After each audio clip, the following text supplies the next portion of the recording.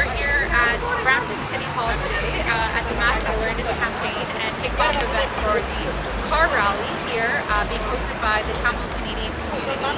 And the purpose of the car rally here is, uh, as you can see, is to ask Canada to ensure the UNHRC investigates the Tamil genocide. And with here today, uh, with me here today, um, uh, I'm uh, very honored to introduce our guest, Regional City Councillor Gurpreet Dhillon for wards 9 and 10 uh, at the City of Brampton.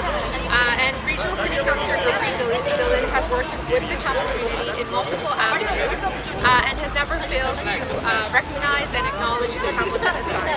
Uh, he has also played a key role in the proclamation of Tamil Genocide Remembrance Day at the City of Brampton. Uh, and we're really happy to have him join us today and we're just going to ask him to say a few minutes.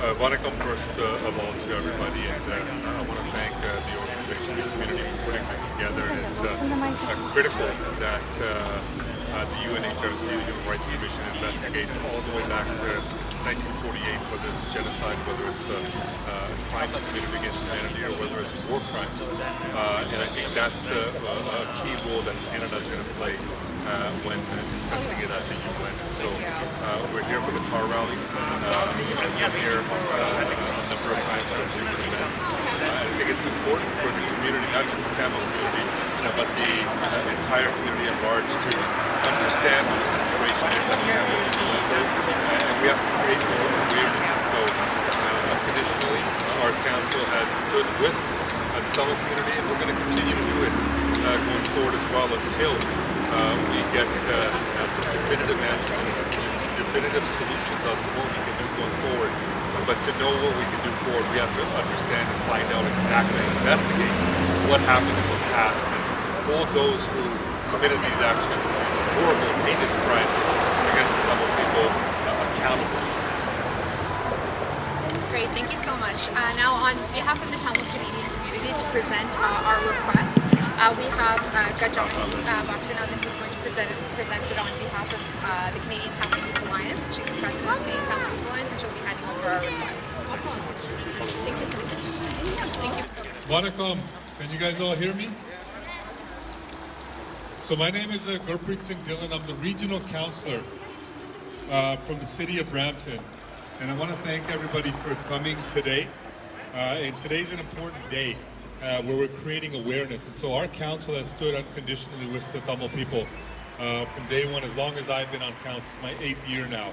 Uh, and what we want to do is make sure that with events like the car rally uh, and with other events going on, that we create awareness uh, within the general community, the greater community at large, to let them know what exactly happened. And so when Canada goes to the UN, we want to make sure that the, the, the Human Rights Commission not just investigates what happened recently, we want to go back as far as 1948, uh, following independence, and uh, whether it's genocide, whether it's uh, crimes against uh, humanity, whether it's uh, the, uh, the war crimes, we have to have a thorough investigation done.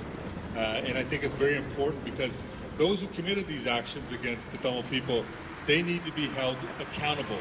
Uh, and that's what we're looking for. We're looking for justice. Uh, and so, on behalf of our council, I know our mayor and other councilors will be here a little bit later, later on. You know, again, unconditional support for uh, our Tamil community, whether it's Brampton or throughout the Canadian diaspora. Uh, we do stand with you. If I can be of any service, I know I've received this. Uh, and so we're going to make sure we discuss this uh, at our next council meeting as well. And so, uh, unfortunately for me today, I got to get going a little bit earlier, early. But I want to thank Moen and the rest of the team for uh, for doing this today. And so, uh, I look forward to uh, supporting you guys going forward. Thank you, uh, Nandri, uh, and Vanakkam. Thank you so much. Thank you for your support and presence today. Thank you.